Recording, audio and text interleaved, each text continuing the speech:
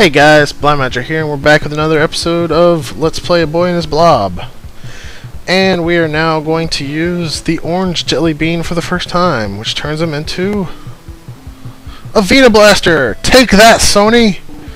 Oh, actually, it's a Vitamin Blaster.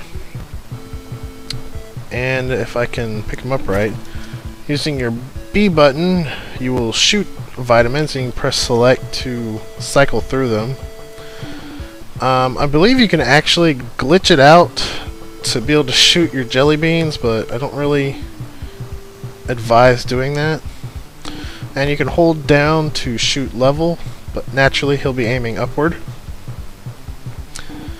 And like anything you hold, if you press the jelly bean button, he will drop it.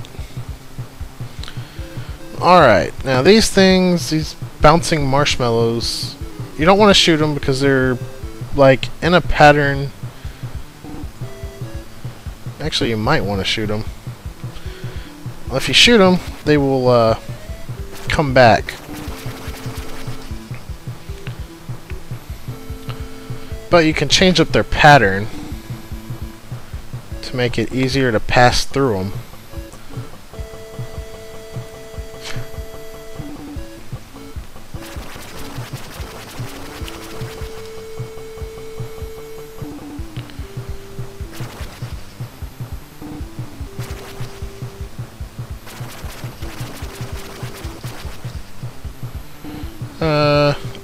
sometimes it's difficult to get a desirable pattern, though.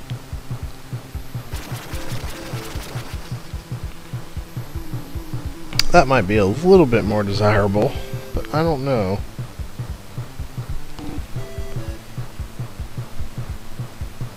Oh yes, and once you pass the screen, if you go back, the enemies will be gone, because the game will consider you to have cleared it.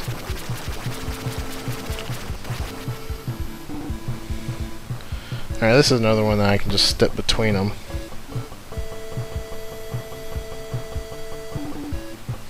So their pattern doesn't matter too much. Now this is the only things that you really need the vitamins for. So feel free to spam them if you got 950 of them like I did.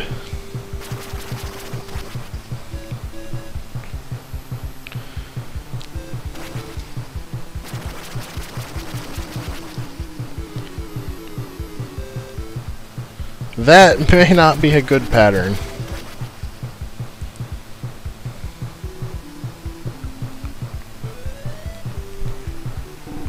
Alright, there we go. Okay, this here is dangerous. Those are cherry bombs. If they hit the ground and the boy is on the screen when they hit the ground, you die. Doesn't matter if you're not on the same screen as them, if the boy is on the screen, then he dies. There's going to be three screens of them. The best way is to just go through and spam your vitamin blaster.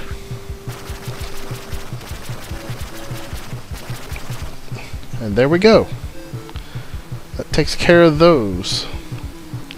Now over here we have more uh, we have more uh, peppermints in the sky. So I will try to get them. This is going to be a set of peppermints that you will probably need to use the aforementioned trick in the last episode to place him where you want him. Uh, one thing to note is that even though it's only one screen, you will die if you walk off from that top screen there. I don't want to waste them.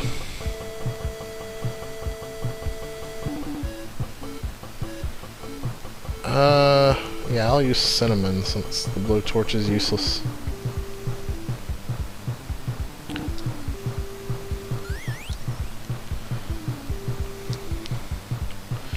Alright, so let's collect these peppermints.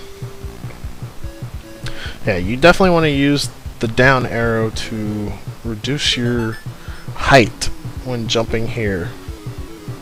Because I don't know why. It really doesn't look high enough for you to die, but You will.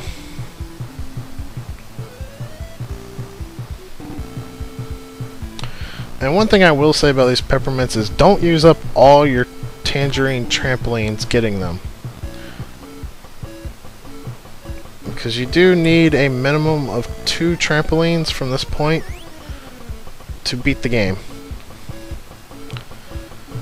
Alright, next up we have something else that's kind of aggravating. And you'll want your, uh, your vitamin blaster for it. Really only the first screen is aggravating. I would suggest holding it uh, horizontally like this and using vitamin C. You have popcorn and it will keep coming until you pass the screen. Now this popcorn will go in the same pattern every time. ah, voice is starting to go here. But, you know, just wait for your opening and then move. And that was not an opening.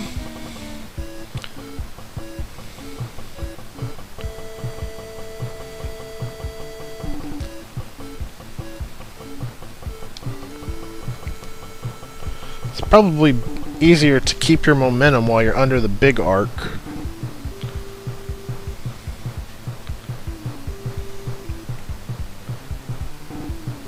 And there you go. Now we are past the corn. And I believe right here there will be some more peppermints to get. And I do actually need to go back to the first screen with the corn because there's more up there too.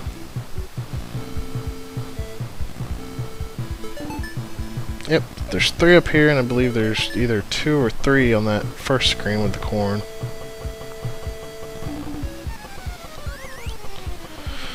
But since we passed it, the corn will, or the popcorn will all be gone now, so we can safely traverse this area.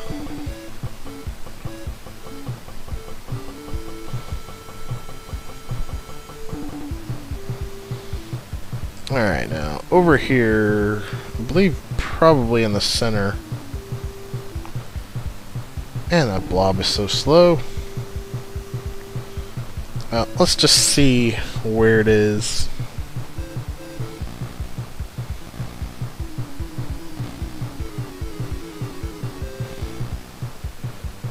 Not on this screen.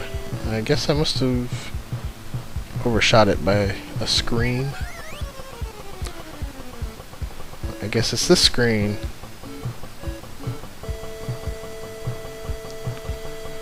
I don't know, man. I'm starting to get confused now.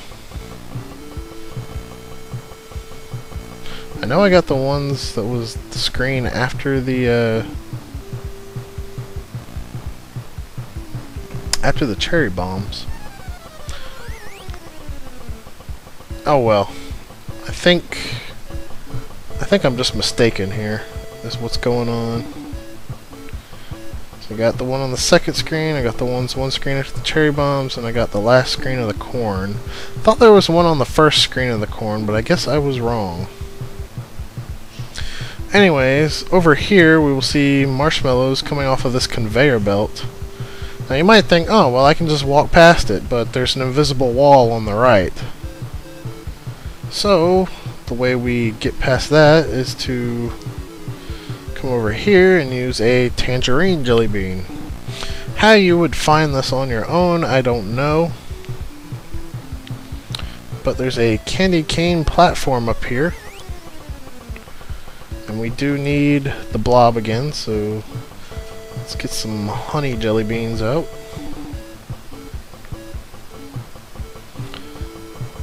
And you walk past that switch to flip it off. Let's get our vanilla so we can safely land. Now once you find that first one, finding the second one isn't a big deal, because there it is. Yeah, I did mention that there's two screens of this, right? Now you can actually jump through the uh, the candy cane. So don't worry about being like right at the edge of it. Just set your trampoline somewhere in the middle of the screen. Okay, I guess I'm a liar. Don't listen to me. I lie. I guess you do want your blob to be, like, right here. Oh, I didn't mean to do that.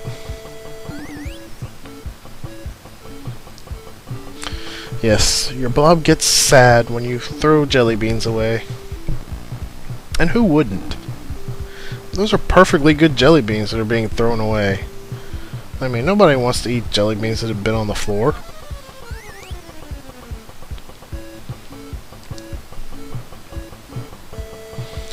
Now, try as you might, you can't smash your head on the ceiling here like you could in the cave. At least not on this screen.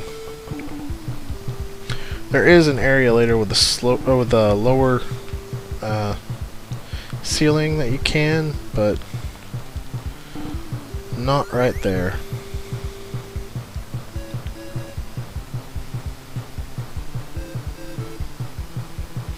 We. Alright, now there are more peppermints here. I think they're right here.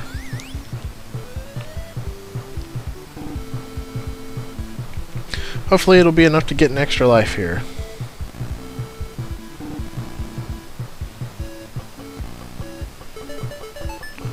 Yes! Alright.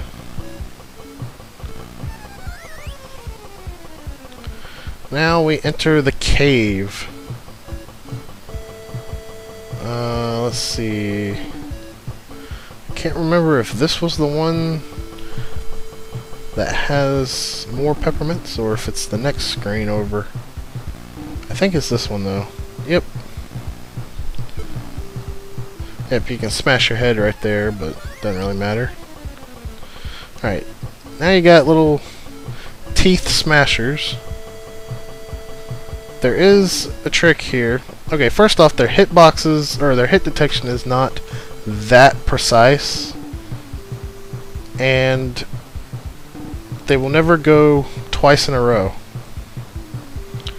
So you're always safe to cross just after it goes down. And I probably can't concentrate on enough of them at one time to save some time here and well, I guess I could. I was going to say probably couldn't concentrate enough to save some time and go through them one after another if they happen to crush that way. Alright, right here we got this, I guess they're chocolate chips since this is like a candy factory, but honestly to me they look like little piles of poop. Uh, there's a peppermint in there that I have absolutely no idea how on earth you're supposed to actually get because if you shoot the poop it just comes back and it will fly towards you if you get too close or if you stay on that screen long enough. As you guys can see, uh, I'm not going to worry about that peppermint. It's there, so I showed where it is. If, uh, if one of you know how to get it, feel free to leave me a video response or a comment telling me how.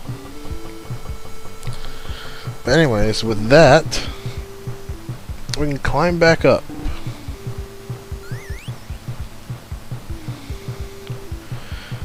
After we hit that switch, the poop will stop flying upward and we can cross.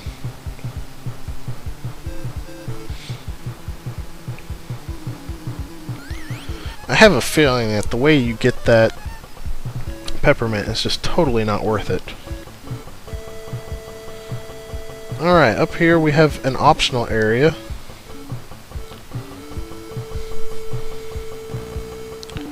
And I'm pretty sure I missed some peppermints.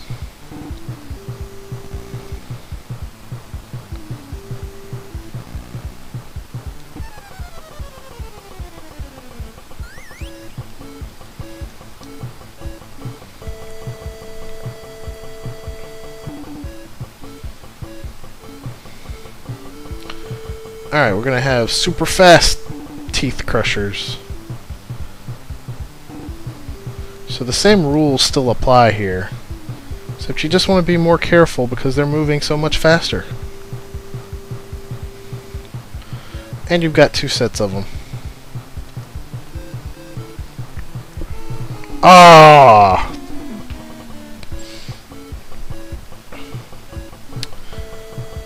Going to try my best to get past this without dying.